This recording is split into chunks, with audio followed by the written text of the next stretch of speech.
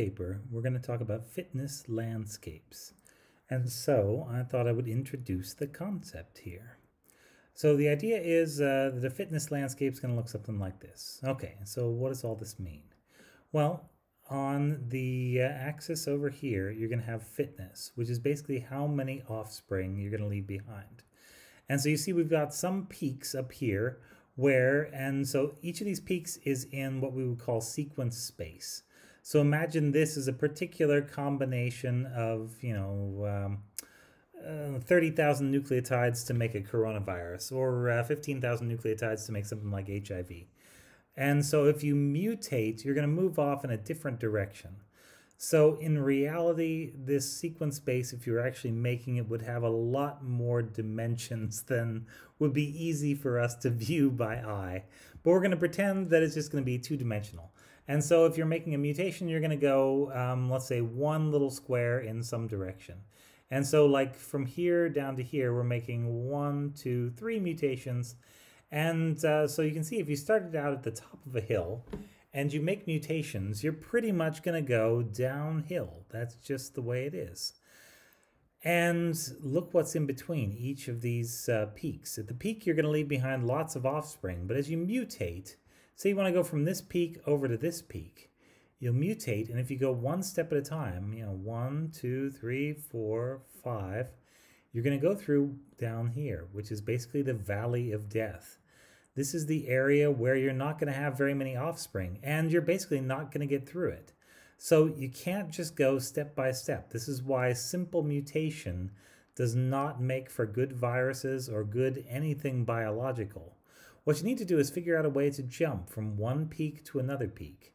So the dengue virus is able to do this by carrying all its mutations on a separate copy. So it'll have one copy that stays up here at the top and it'll have a second copy that is going to pay the price and it's going to actually go down through the valley. But because these two work together, this one at the top can actually copy the one that's down at the bottom without even realizing it's doing this, of course. And uh, eventually, when the uh, other one emerges on another peak, then bam, it can come back and it can be its own strain and uh, it can help out another virus. And so the virus is able to move. Now, the virus has no idea what the landscape looks like. It finds this by just sort of making mutations around where it is.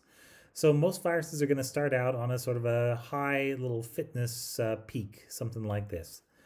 And uh, yeah, most viruses will be fairly genetically similar. But over time, they'll figure out ways to start to wander, to sort of change one nucleotide on average and two and three, like the flu virus does every year, like the coronavirus is doing, stuff like that. Um, and yeah, the, every virus has its own strategy for getting from peak to peak. All right, so now let's go into the next paper, and the next paper is all about this. Here we go. So this is the fitness landscape of the HIV-1 quasi-species, um, and uh, we're talking about just the protease uh, gene here. So not even talking about the rest of the virus, just what's the quasi-species got to offer in the way of proteases? And the answer is kind of interesting, because basically everything with quasi-species is actually pretty interesting. All right, so for this study, they actually looked at three different people, and they're calling these person M, person N, and person O. M was just recently diagnosed. N has been diagnosed for a while with HIV, and O is uh, long term positive and actually is suffering um, immune system collapse. So O would have AIDS, M and N would have HIV, but not yet AIDS. And you can see the difference here in the amount of virus, the number of copies per milliliter is low, 17,000, 15,000, and over here in type O it's 297,000.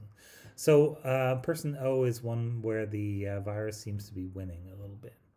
And so what they did was they sequenced all the viruses from inside these people, or rather, uh, I don't know, a sampling of a couple hundred viruses.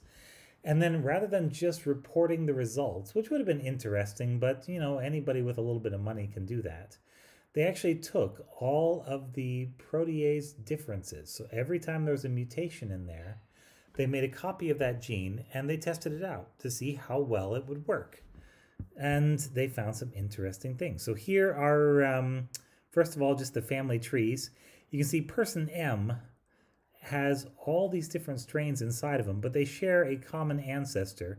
And so, right about back there would be the original strain that person M would have been infected with. Uh, person O, that strain would be back here, and you can see they have a cluster, and there's the cluster for person N. So, yeah, all these people, you're never infected with just one virus. That's the thing with quasi species.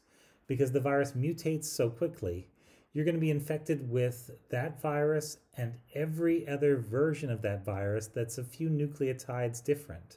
Like every possible combination of mutations will exist inside of a human body. And so those mutations that turn regular flu into uh, severe flu will exist. At least a couple copies of those will exist uh, inside everybody when they get the flu. And it's the same with HIV. And so here they're actually going through uh, some of the uh, kinds of uh, protease they found in person M and person N and person O. And you can see we've got mutations and they're lined up in particular places. So you notice that there are particular mutations here. I think uh, you'll have to look at the paper, but these are either going to be um, a result of the strain that started out in this person just had these mutations. And so uh, they're still going to be a little more common, or maybe they were made very early on. And it's possible that some of these mutations that are quite common are also mutations that are uh, escape mutants, mutations that are caused by selection with the antivirals these uh, people will be on. But uh, down here in person O, you can see that the mutations are just scattered all over the place, just randomly. And so just looking at this, what would you predict? Who would have the fittest, fastest, best viruses? So looking at this myself, I see a lot of randomness here. And remember, random mutation does not make Spider-Man. Random mutation makes broken things, broken uh, genes. And so I would predict that this one's going to have problems. I think where you see strings of mutations, you've probably found a mutation that's not going to be a big change. So arginine to lysine is a very small change, as is uh, glutamic acid to aspartic acid, or aspartic to glutamic rather. And so those are going to be what we call conservative changes that will probably be tolerated. But um, yeah, some of these are probably not going to be at all like that. And so then they actually um, looked where on the protease these mutations occur. And so they're all over the inside and the outside. Uh, person M seems to be selecting for uh, differences on one side of the protease. N is doing kind of the same thing, but uh, more so, same part of the um, protein. And then person O, this is, uh, remember that bulldog conformation with the little hole right there where the brain should be. Uh, person O is showing changes just everywhere with no real rhyme or reason. Just random mutation uh, going on there. Okay.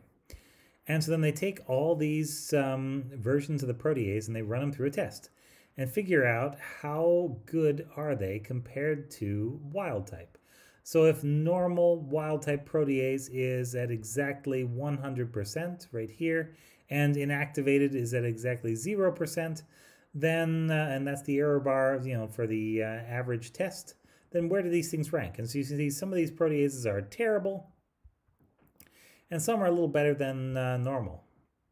And in person uh, M and person N, you've got a pretty good mix, but you tend to have a lot of fairly active proteases, maybe just a little bit less active. Person O, just look at that. It's just like random selection. A few of them work, a lot of them don't really work. And uh, yeah, if this person had an immune system, it would be cracking down on this virus. But uh, no selection, then there's no purification, and strains can just wander. But here's the really interesting thing if you notice, so the size of the circle is going to tell you how many sequences are in there, and the distance is going to tell you how many changes they are different from a cluster. So this one is one amino acid different from this one, and it's one amino acid different from these five, and probably two amino acids different from this one. And so you can see here, most of these sequences, the greatest number of them are clustered around the center here. And these are all at uh, somewhere between 50 and 100% um, fitness. So you can kind of imagine a three-dimensional fitness peak. So this is like a fitness ridge right over here. This is all very high over here in the green. And it goes down to a lower plateau over here in this sort of yellow area and out to there. And this yellow area and this yellow area here and here. And then we go just off the cliff. We go down into the uh, red and the gray and the black. And uh, these are the guys that just completely fell off the cliff that made mutations that are not uh, not particularly useful. And so what you can see is that the quasi-species, even though it's making lots of mutations, while there's an active immune system, we are selecting for pretty good versions of this. Now, over in N, I think this is the uh, most fascinating person. So if you look at this person, the big circles that uh, have the most sequences and most of the landscape seem to be at about 25 to 50% efficiency, which is interesting. So person N is actually selecting for less fit versions of the uh, protease. And this may be as a result of some of the drugs that they're on. But another explanation for this is that the HIV protease doesn't necessarily want to be too fast or too good. Like highly functioning protease is actually probably suboptimal for the virus because remember the protease of HIV is involved in the last step, maturation. And if it does anything before that last maturation step, it's going to be too early and it's going to kill a virus particle. So slow protease is actually a little bit better. And if you can genetically mutate your protease so that it's a little bit slower, then you are probably actually getting to a fitness peak. And so we're making lots more um, little changes around here, but uh, they seem to be connected with these uh, suboptimal viruses. And then have a look at O down here. O is just crazy town. But uh, once again, in this person, we've selected for the uh, probably suboptimal for the virus, but well-functioning uh, proteases. That seems to be the center of the cloud, and you've just got this mess of all these other things. So we've got another nice little fitness landscape here. Here's our peak in the center. It's like um, that fitness landscape graph, but if you were looking straight down from on top of it. This is the tip of the mountain, and then the uh, other little valleys and peaks run off over here. Here's another little peak, this little green circle uh, over here. Just not many viruses over uh, on it at the moment. And yeah, so that's that's one way to actually visualize how this looks. And it brings up this interesting point that maximum function isn't always what's best for the virus. So, what we know from some of these other papers is that viruses will actually be fine tuned to make a certain number of mistakes because by making a certain number of mistakes, you actually increase the chances for evolutionary shifts, even though you're making mutations, even though most of the time this is going to be bad. If you have as many offspring as your typical virus does, then it just needs one of them to work, and then bam, you've uh, made it to the next generation. That's just how viruses live. That is just how viruses roll. So, uh, really fascinating uh, paper here, I think. Uh, well worth a look. Yeah. A little older, but still a very, very good one.